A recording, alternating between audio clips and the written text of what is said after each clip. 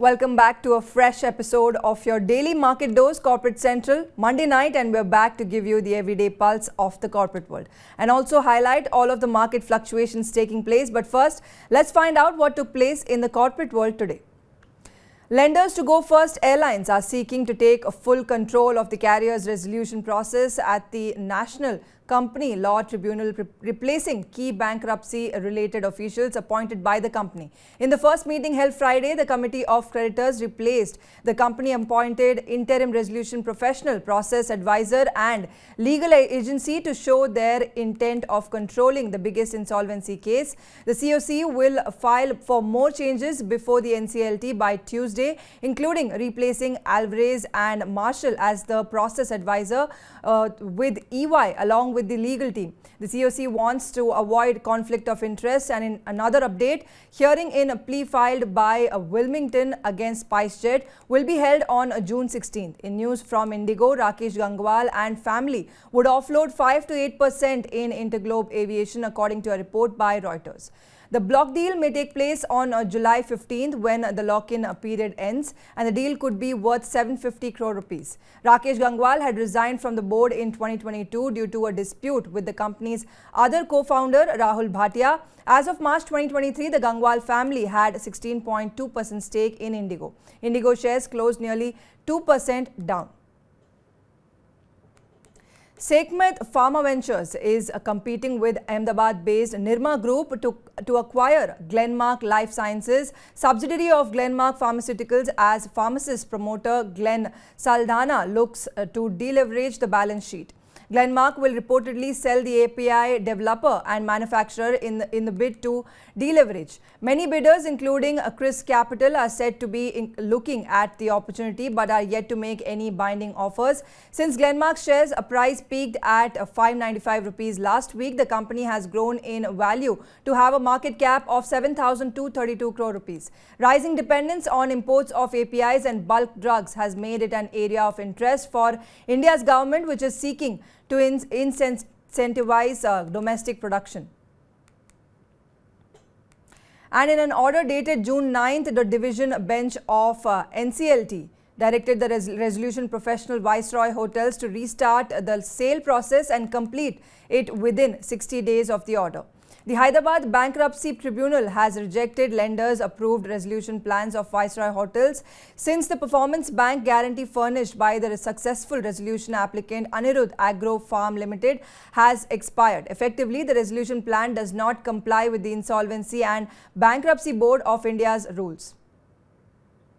Let's talk about disinvestments. There are quite a few updates. Uh, first up, uh, the centre monetized assets worth 1.32 lakh crore rupees in FY23 against a target of 1.62 lakh crore rupees as railways, road transport, power and telecom ministries failed to meet targets. For 2023-24, a cabinet secretary headed panel earlier this month restated the 1.79 lakh crore rupees target as set by the Niti Aayog. In another update, Disinvestment Container Corporation of India may be delayed indefinitely because the process has hit interministerial obstacles. The Ministry of Railways, which is its uh, nodal ministry, is not interested in the proposed 30.8% stake sale because it is of the view that getting a strategic buyer can impact the railways target of keeping logistics prices in check. In more news, the government is likely to invite financial bids for the private, privatization of Shipping Corporation of India after listing its non-core asset business SCI LAL this month. The government has hived off the non-core assets of SCI in a separate company, Shipping Corporation of India Land and Assets, valued at 2,392 crore rupees as on March 31st, 2022. As part of the demerger process, SCI LAL will be listed on the stock exchanges and every shareholder of the Shipping Corporation of India will get one share of SCI LAL.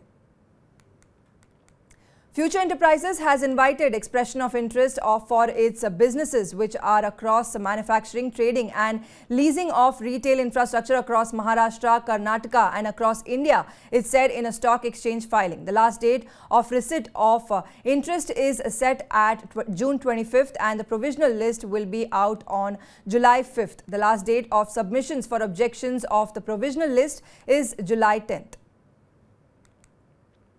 Dalmia Bharat, India's fourth largest cement producer, will spend around 19,000 crore rupees to expand its cement capacity to 120 million tons per annum by 2031 to cash in on the infrastructure and housing boom, its MD and CEO Puneet Dalmia has said. The company currently has a capacity of 41.1 MTPA across 14 plants and grinding units which are spread across 10 states. TVS Motor has fully acquired Swiss e-mobility group after it bought out the residual 25% stake in the e-bike company for a sum of 176 crore rupees. In the latest deal announced on Saturday, the company acquired 38,217 equity shares of SEMG at 517.36 Swiss franc per share. The total consideration of the deal comes at about 19.77 million Swiss franc or 176 crore rupees. Further, non-banking finance company TVS Credit Services has successfully raised equity capital of 480 crore rupees from Premji Invest to fuel its growth plan, including advancing its uh, uh, digitization journey. The city-based company has said on Saturday. Premji Invest would pick up 9.7% equity stake in TVS Credit for 737 crore rupees as part of the transaction via a combination of primary and secondary investments. And that was all on corporates. Now let's take a look at those stocks that were buzzing today in the market and also analyze the reason behind it.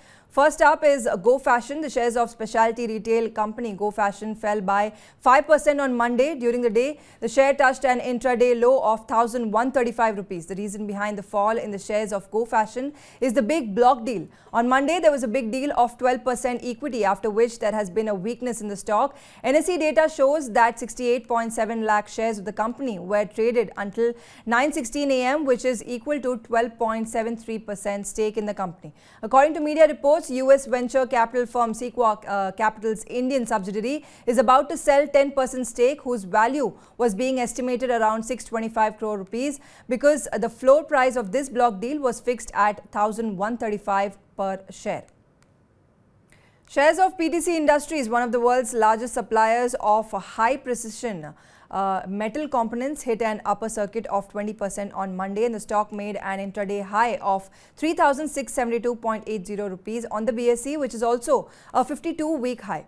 Due to the strong outlook, the stock is showing an uptrend and the stock has rallied over 50% in the last three weeks after the announcement of quarter 4 FY23 results as the results were strong. The profit of the company almost doubled from 4.62 crore rupees to 9.2 crore rupees. The working improved by 3.9% from 26.3% to 30.2%. On last Friday, June 9th, the trading of the shares of this company started on the NSE and the stock jumped 5%. Earlier, these shares used to trade only on the BSE. Listing of shares on the NSE will now increase the liquidity and also secondly, uh, investors will get better opportunities.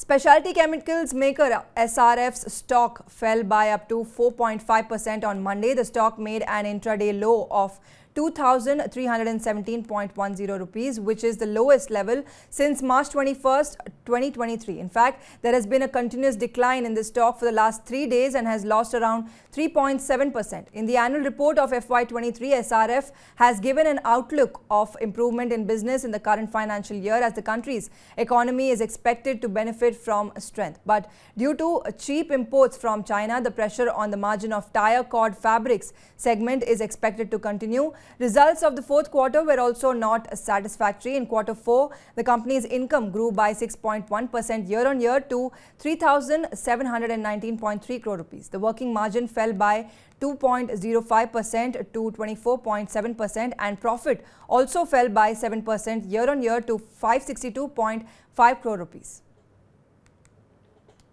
Shares of Nagpur-based Sarda Energy touched a 52-week high of 1,344.70 rupees on Monday. Sarda Energy has made the highest bid for the bankrupt SKS Power and it is noteworthy that it has submitted a bid of 1,800 crore rupees for SKS Power, which will take care of total dues of the lenders. Another thing to note is that apart from Torrent Group, SKS Power has uh, trumped Jindal Power. SKS Power has a 600 megawatt power plant in Chhattisgarh, which is being run by NTPC and is charging fees for it. Shares of state-run Mini Ratna company Cochin Shipyard saw a jump of more than 6% on Monday, June 12th. The stock touched a intraday high of 574 rupees. The reason behind Monday's rally is the order of about uh, 300 crore rupees from the Indian Navy. According to the information given to the stock exchange, the company has been declared uh, the lowest bidder for the midlife upgrade of the naval ship from the Indian Navy. This order will be completed in the next 24 months. Earlier, the company had received an order of about 550 crore rupees from Samskip Group of the Netherlands in March 2023 and an order of about 1000 crore rupees from a European company in November 2022. During August 2022 to December 2022, the stock had given a return of 105% and touched a 52-week high of 687 rupees and from that peak onwards, the stock is trading at a low of about 18 percent. Well, that's all on corporates and markets tonight. But before we go, leaving you with some important triggers and corporate events which will have potential to make big market impacts. On June 13th, the impact of CPI inflation for May and IIP figures for April will be seen. IKIO IPO will also be allotted and the total IPO of IKIO Lighting was filled 67.75 times. Globally, on 13 June, US CPI inflation data will be released, which is expected to decline from 4.9% to 4.1%. Also, US Fed's two-day meeting will begin on June 13 and the decision for the Fed meeting will come on June 14 wherein 70% experts do not expect any changes or increase in the rates. It's a wrap tonight on Corporate Central, but catch all the other detailed updates from the corporate world on Money9's website, www.money9.com. And that's all from me. Take care and stay tuned to Money9.